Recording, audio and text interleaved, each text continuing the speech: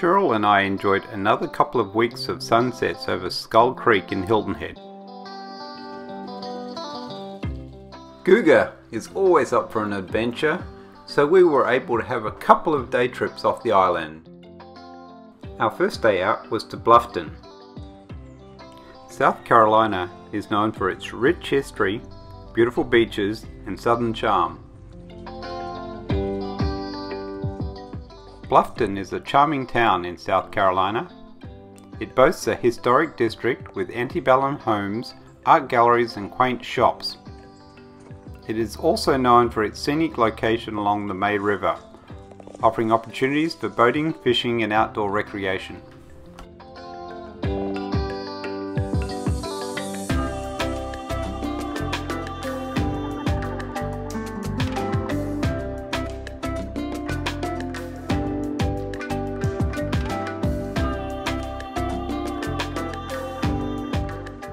Our daily routine at Hilton Head Plantation was set by Guga.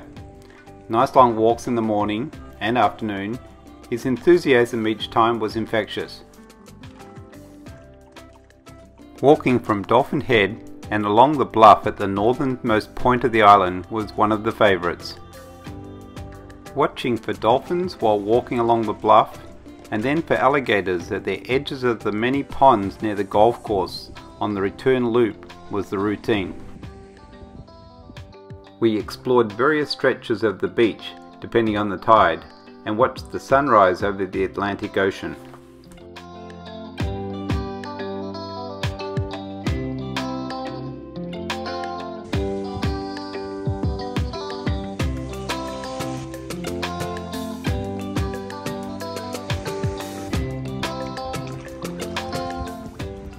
Spanish moss draped over the live oaks is an iconic symbol of the Low Country, casting a serene ambience over the landscape.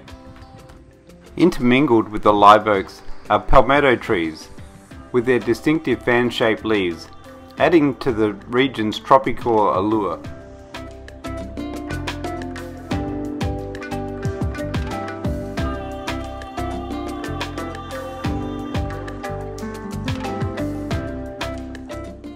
Back at Skull Creek, an afternoon game of not being able to catch Guga was performed.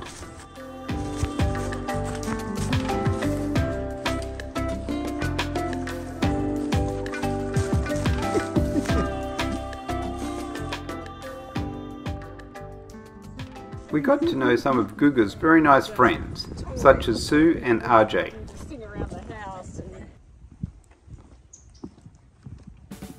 The very historic port city of Savannah, Georgia is less than an hour drive from Hilton Head, South Carolina.